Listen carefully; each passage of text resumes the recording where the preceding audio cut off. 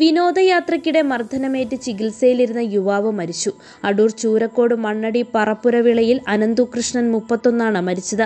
തിങ്കളാഴ്ച ഉച്ചയ്ക്ക് കൊച്ചിയിലെ സ്വകാര്യ ആശുപത്രിയിൽ വെച്ചായിരുന്നു മരണം സംഭവിച്ചത്. നവംബർ ആറിന് സുഹൃത്തുക്കൾക്കൊപ്പം അച്ചൻകോവിൽ മേക്കര ഡാം സന്ദർശിക്കാൻ പോയതാണ് അനന്തു. വഴിയിൽ ഇവരുടെ വാഹനത്തിന്റെ യാത്ര തടസ്സപ്പെടുത്തി ഒരു കൂട്ടം ആളുകൾ റോഡിൽ മദ്യപിച്ച് പ്രശ്നമുണ്ടാക്കി.